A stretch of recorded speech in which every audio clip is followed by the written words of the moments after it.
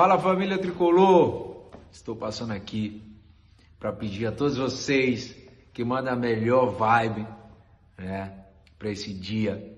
Tira a ansiedade, tira o medo e manda a sua melhor vibe, porque hoje vai ser um dia especial, se Deus quiser, para todos nós.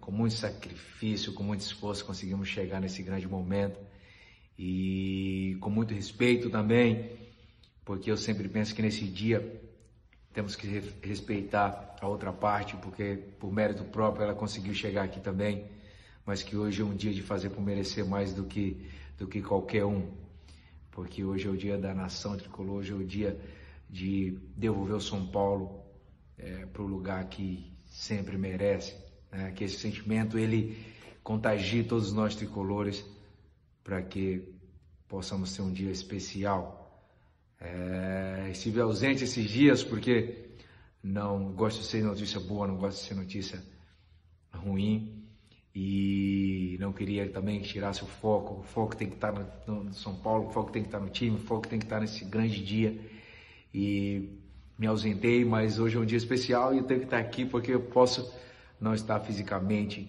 mas de alma, de espírito e de sentimento tricolor. Eu vou estar conectado sem dúvida nenhuma com com a minha galera, com o meu pessoal. E que Deus abençoe nosso dia e que possamos ter um grande dia de vitória. Avante tricolor! Vamos que vamos!